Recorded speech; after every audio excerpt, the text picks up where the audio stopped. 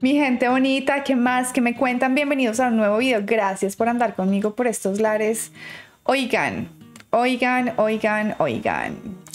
Escuchen este título de este video. Ron DeSantis es acusado de secuestro de migrantes en Florida. Crisis por la ley SB 1718. Oigan, em, déjenme contarles qué es lo que está pasando. Obviamente ya sabemos perfectamente que el gobernador de Florida, eh, que es republicano y que ha dado eh, discursos bastante concretos y racistas, pues em, está implementando una nueva estrategia, ¿no? Entonces es literalmente para deshacerse de las personas que migren a Florida, pues les dice, ay, imagínense que en otro estado, en este caso California, pues les están dando oportunidades de trabajo con otras condiciones, porque no se van para allá. Nosotros los ayudamos a que se vayan y ya literalmente se zafa del problema, ¿no? Y eso fue lo que pasó con un grupo de migrantes. Efectivamente les dijeron que sí, que se fueran para otro estado, que allá les iban a dar trabajo, que allá iban a estar bien, que les iban a asegurar no sé qué. Los hicieron firmar unos papeles de consentimiento, los transportaron en un avión hasta allá y cuando llegaron allá, pues básicamente los dejaron, ok, bye, nos vamos, no sabemos nada de ustedes, no los conocemos, no nos interesa, ¿no? Entonces sí, claro, les están brindando un servicio de transporte desde Florida hasta California, pero los están usando y los están engañando. ¿Por qué? Porque lo que hace es decir, si ven, nos estamos encargando de que no continúen estos migrantes acá. La cuestión es que eso es literalmente cuando uno engaña a un niño con un dulce, ¿no? Y le dice, sí, sí, yo te voy a dar el dulce o haz esto que te doy un dulce y finalmente nunca le diste el dulce al niño, tal cual. Y al tener estas personas engañadas de esta manera, pues esto literalmente es como que estás teniendo a personas bajo la posesión de estas personas que fueron los que los desplazaron, pero que en realidad pues no se sabe a ciencia cierta pues para nada, para qué era, porque es que no había una razón para qué era, era simplemente para deshacerse de ellos. Y fueron y los dejaron en el otro estado y pues ya como quien dice el bueno, no están en mi estado, esto no es mi problema, ustedes allá solucionen como puedan. Así que esto es lo que está sucediendo. Volviendo a hablar una vez más de este gobernador republicano que siempre tendrá algo que decir, ¿no? O algo que hacer, o de estar teniendo razones por las cuales encontrarse en la boca de la gente, porque pues lastimosamente no es por cosas buenas. En Florida eh, también se pronunciaron muchas personas, inclusive em, los que manejan camiones estuvieron también em, acompañando, por así decirlo, en las protestas de los miles y millones de migrantes que hay, que obviamente no están de acuerdo con estas medidas.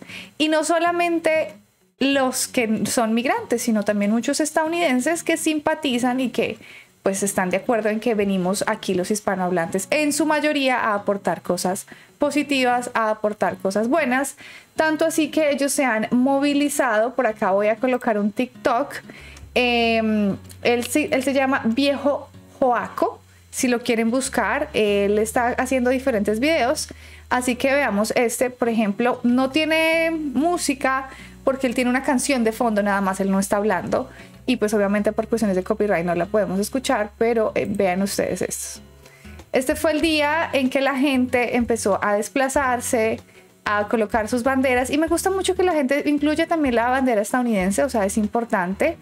Eh, vivimos acá en Estados Unidos, este país nos ha brindado oportunidades y la gente de a pie es igual que uno, mire banderas también de otros países, principalmente también México, ¿no? Pero eh, pues muestran otros países y, la gente apoyando, ¿ven? O sea, si se dan cuenta de que la gente apoya, de que inclusive muchos estadounidenses también mostraron su inconformidad porque son conscientes de que son la base de su trabajo, de sus compañías, eh, que son personas que les han brindado un apoyo. Entonces, seres humanos que tienen familias que simplemente quieren venir acá a trabajar, como la mayoría de nosotros. Entonces, pues qué bien que se hagan este tipo de, protestas y de marchas en acompañamiento, en empatía. Pero pues vamos a ver también a nivel legal, ¿no? Ya es hora de que esta gente no solamente porque tiene dinero y poder puedan hacer y deshacer y jugar con literalmente la vida de la gente. Así que veamos este otro video eh, en el que les voy a mostrar la parte en la que se habla de eh, las consecuencias legales, ¿no? En que le puede suceder a este gobernador, Ron DeSantis. Así que hagámosle aquí en los en la descripción les voy a dar los créditos del video original para que vayan y se suscriban y dejen su apoyo, al igual que dejen su amor por acá. No les cuesta nada con ese like. Suscríbanse al canal y sin más, nos fuimos. Escuchemos.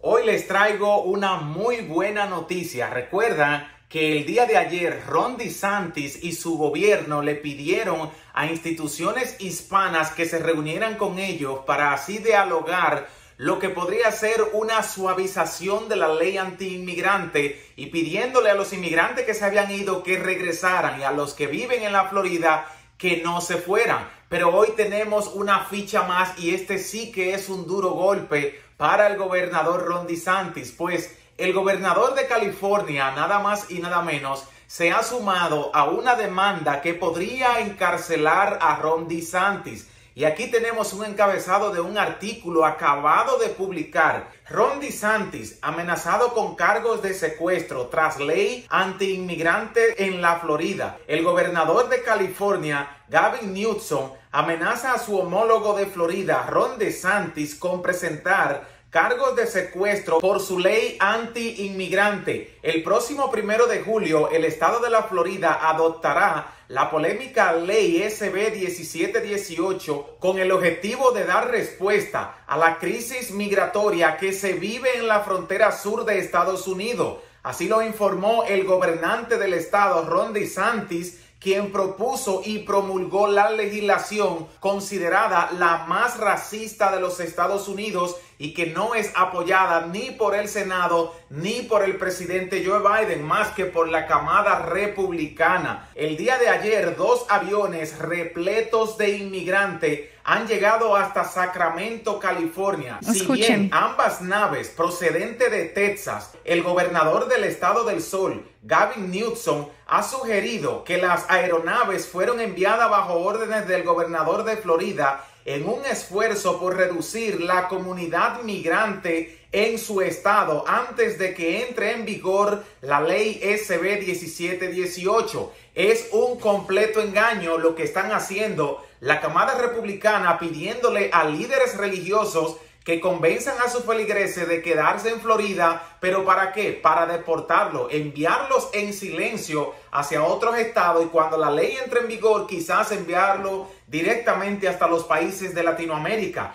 Ambas naves suman la llegada de 36 inmigrantes a California, quienes aseguran fueron engañados, pues no tenían idea de dónde estaban tras ser abandonados en Sacramento. Esto sucedió el día de ayer y por eso el gobernador de California dice que tomará medidas contra el gobernador de Florida por cargos de secuestro, ya que usted no puede privar de libertad a ningún ser humano. El gobernador Newsom ha tomado sus redes sociales para lanzar una fuerte amenaza a su homólogo de Florida, Ron DeSantis, sugiriendo que presentará cargos de secuestro tras su ley anti-inmigrante y todos deberíamos seguir las redes sociales del gobernador de California en Twitter, al igual que seguir el canal Autos Baratos para que todos los inmigrantes, tus primos, tus hermanos y tus amigos se enteren de que estamos cubriendo la noticia en tiempo real. Actualmente la administración de Newsom se encuentra trabajando para investigar las circunstancias y saber quién pagó los viajes en el avión,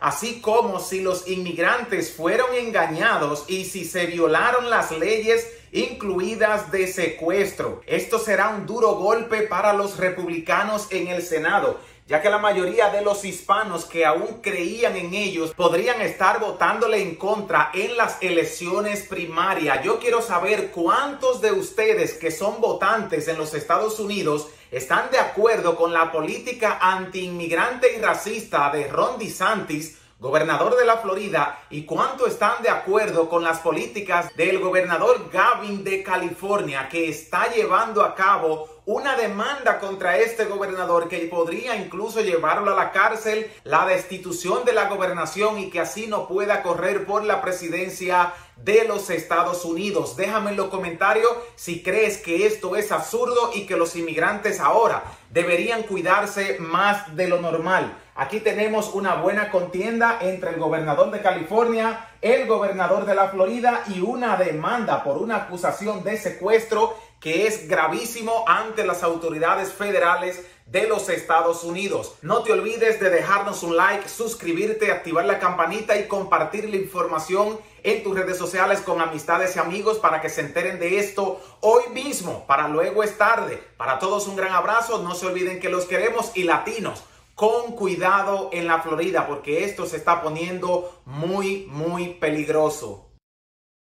Así que bueno, mijos, Ahí tienen la noticia principal. Em, yo pienso que es hora de que sucedan muchas cosas. La primera es que siento que si bien bien es cierto es una trans, una trans, ¿cómo se dice? Transición, esa es la palabra que quiero usar. Una transición que puede tomar tiempo. Eh, los seres humanos estamos entendiendo la importancia de la política, estoy hablando de los que estamos abajo en la masa, en un sistema que nos tiene muy envueltos, muy entretenidos y que lastimosamente, pues a veces eh, la misma corredera de la vida no nos permite educarnos ni financieramente ni políticamente. Y, me refiero a simplemente tener tiempo para enterarnos, no me refiero a tener una carrera en ciencias políticas ni nada por el estilo, sino enterarnos qué es lo que sucede a nivel político. Y es muy fundamental y es muy importante porque es que eso depende las cosas que nos pasen en el día a día, eso depende los precios que hayan allá afuera, para comprar lo básico de la canasta familiar y así sucesivamente. Entonces, creo que sí, es una transición que se está dando y que lo hemos podido ver, fenómenos como los que están sucediendo en México, por ejemplo, la gente anda muy, muy politizada, muy despierta, muy enterada, muy informada. Y creo que aquí en Estados Unidos también, pero no, no sé hasta qué punto. La cuestión es que es importante que se haga esa transición a que nos preocupemos más por la parte política porque, vuelvo y repito, nos afectan en las personas que pongamos allá arriba y que tomen este tipo de decisiones. Aquí, solamente hablando de los mexicanos, hay más de 40 millones de mexicanos en Estados Unidos. Si juntáramos la cantidad de hispanohablantes de toda Sudamérica y parte también de Centroamérica y así sucesivamente, pues imagínense, todavía una cantidad mayor.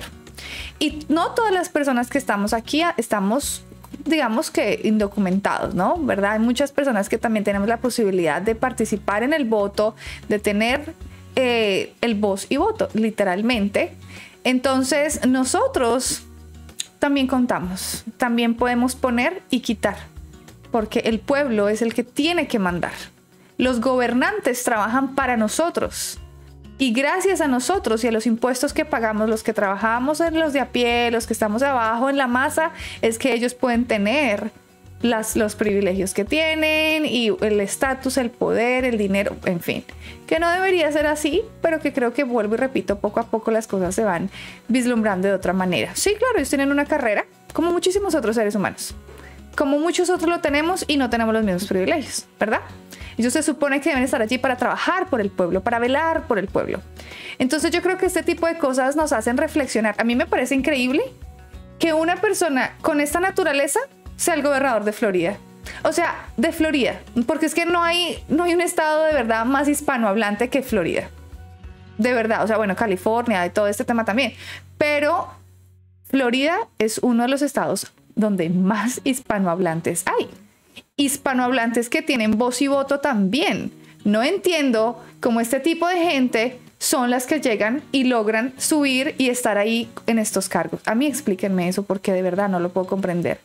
Y es que saben que también qué pasa, que yo siento que nosotros los, eh, los hispanos no tenemos la cultura del voto tan arraigada. No nos interesa mucho la política, nos da flojera enterarnos, preferimos ver novelas, preferimos ver el fútbol que enterarnos de lo importante. ¿No? Y eso también se ve reflejado en nuestros países, porque es que si hay tanta corrupción allá en nuestros países es por ese tema. O de verdad tomamos el toro por los cuernos y empezamos a enterarnos, o ellos van a seguir haciendo esto.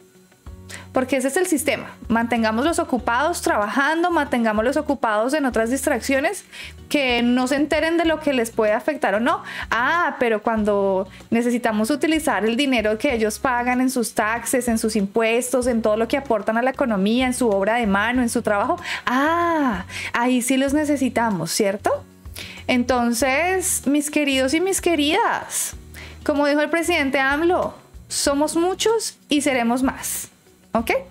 Entonces no crean que nos vamos a ir, porque al igual que ellos, muchos de nosotros somos estadounidenses, eh, naturalizados. Agradecida estoy con el país que me da la posibilidad de revalidar mi carrera, de tener un trabajo, de estar con mi familia, en fin, muchas cosas. Pero asimismo uno también aporta muchas otras al sistema. También paga impuestos, también es una persona que está aportando con su mano de obra, con su trabajo, con su preparación académica, llámenlo como quieran. Entonces, eh, no, no tengo nada contra los estadounidenses de a pie, insisto. Los que yo he tenido la oportunidad de compartir en mi trabajo son de verdad gente muy familiar, gente buena, pero yo estoy hablando de los que están arriba que toman las decisiones, ¿no? Entonces, eh, pienso que ojalá, de verdad, ojalá que le den a estas personas eh, lo, que lo que se merecen. Si están actuando de esta manera racista, si están utilizando este tipo de estrategias, pues que se les dé lo que se merecen en el aspecto legal, ¿no? Porque si fuera al revés, estoy segura de que entonces ahí sí pasarían otras cuestiones. En fin, coloquemos a esta gente en donde tienen que estar. Estamos en el siglo XXI, ¿ok? Estamos en un país que está hecho de migrantes. Estamos en un momento en el mundo en donde la gente tiene acceso a la información por medios alternativos. No solo lo que nos diga el televisor y tengamos que creerle al televisor, sino en esta ocasión, por ejemplo, TikTok, YouTube, Facebook, Instagram. Tenemos otras fuentes que elegir. Así que eh, vamos a esperar qué sucede. Está interesante. La política cada día se pone más buena. Esto es mejor que una serie de Netflix. Siempre lo he dicho. Así que vamos a ver qué pasa entre estos dos gobernadores y pues que ojalá de verdad la ley se aplique igualitariamente para todos, sin importar si hay dinero y poder de por medio. Hasta aquí hemos llegado. Déjenme saber en los comentarios ustedes qué opinan del tema. ¿A dónde creen que va a llegar esto? ¿Creen ustedes que es justo que se juegue con la gente de esta manera? ¿Que los usen con sus politiquerías para transportarlos de un lado al otro y hacerles creer a ellos que les van a dar una oportunidad de algo mejor y un trabajo y bla, bla, bla, cuando en realidad solo quieren deshacerse. No es justo. Y no es justo porque, repito, la mayoría de los hispanohablantes que estamos aquí estamos aquí para hacer cosas buenas. Así que hasta aquí hemos llegado. Recuerden que si me pueden apoyar, no les cuesta nada, me ayudan un montón. Con ese like, suscríbanse al canal, activen la campanita, los espero en todas mis redes sociales, estoy como Alexa López Col. Recuerden que tengo un canal eh, adicional dedicado a solo temas políticos, Alexa López Ol, A-L-L, para que vayan por allá a esos lados y también eh, pues hablemos de estos temas un poco más profundo. Así que bueno, mijos, mi frase favorita ha llegado. Mi corazón es mexicano, mi sangre colombiana. Nos vemos en un próximo video. Chaito, chaito.